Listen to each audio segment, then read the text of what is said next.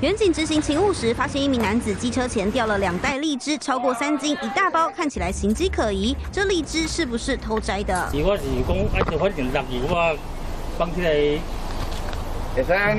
男子疑似在附近果园偷摘了两袋荔枝，却频频狡辩是捡掉下来的。我家好意啊，弟啊，哦，我看那个苹果糕，我当时我是手甲办来啊，我甲买嘛，哎呀，我主动我甲买嘛，我甲买唔错，对啊，我唔是。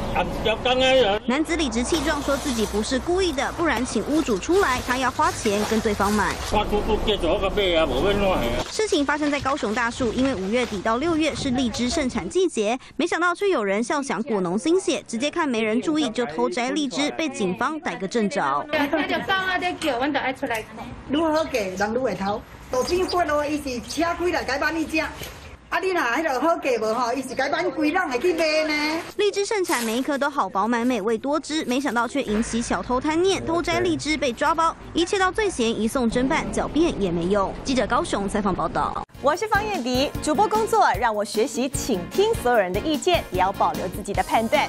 也许我们无法踏遍所有土地，但能从新闻里看尽每一道风景。我是方艳迪，请您锁定中视 YouTube 频道，记得要按赞、订阅、分享，开启小铃铛哦。